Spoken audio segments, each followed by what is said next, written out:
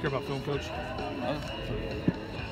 Well, that was a wild one. Um, Yeah, I mean, you get you get uh, when both teams playing five games in a week, which we have again in another couple of weeks.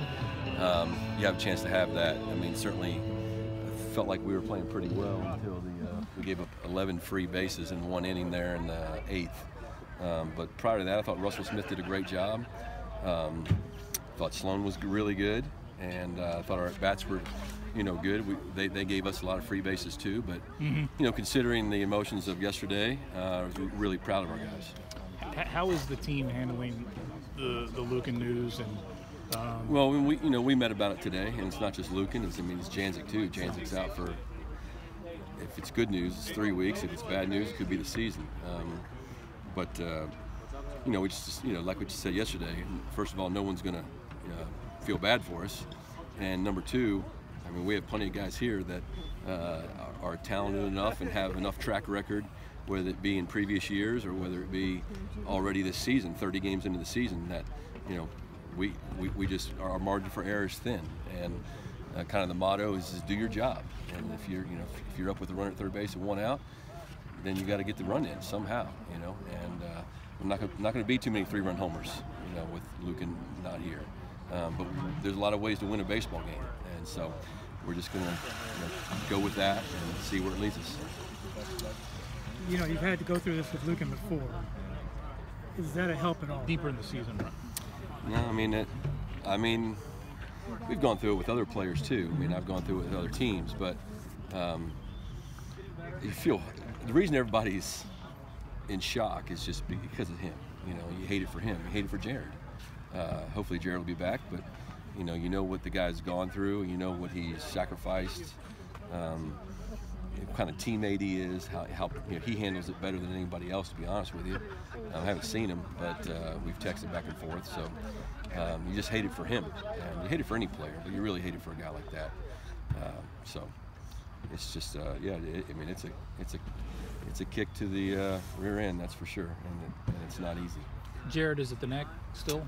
No, it's, he's got some uh, other issues going on with his, uh, you know, it's like a neuritis they call it, you know, nerve inflammation type thing that he dealt with last year. Some of it was in his shoulder. Now it's down into his elbow as well. So Throwing shoulder, throwing arm, yeah, elbow. obviously, yeah, yeah. Um, so you know, we'll know more this uh, hopefully tomorrow or Friday. He, he won't travel this weekend, um, but you know he has to see a couple other specialists to see what the options are.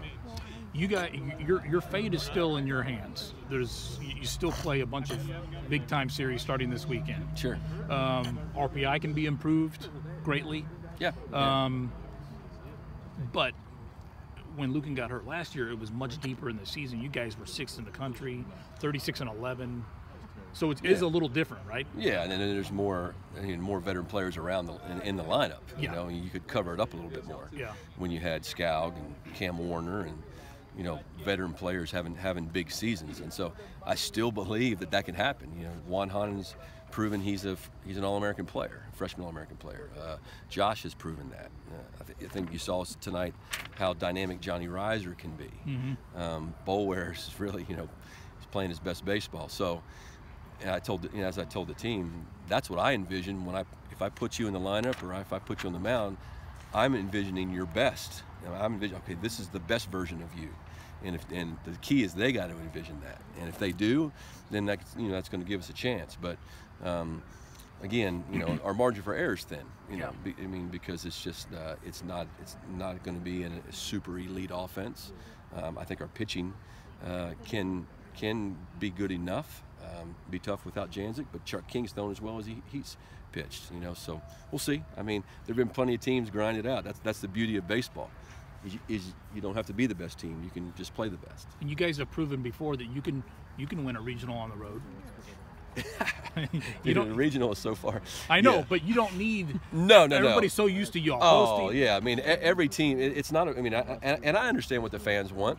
Believe me, I got some interesting emails last night, more than one. Um, but I mean, but it's but it's it, it's about yeah. I mean, it's about this particular team reaching its potential, and that's okay. And these guys have won super regionals on the road, and and there's there's a part to that that's fun too. So, but we're not, you know, we're so far from that right I, now. yeah, I understand. Yeah, I mean, we're we have a ton of work to do to put ourselves in that position, but we do have opportunities. So we'll see. Well, can you almost treat it like a brand new 20 game season from here? Sure. I mean, yeah. I mean, it's it, the, the the challenge is to you know how does everybody feel on opening day?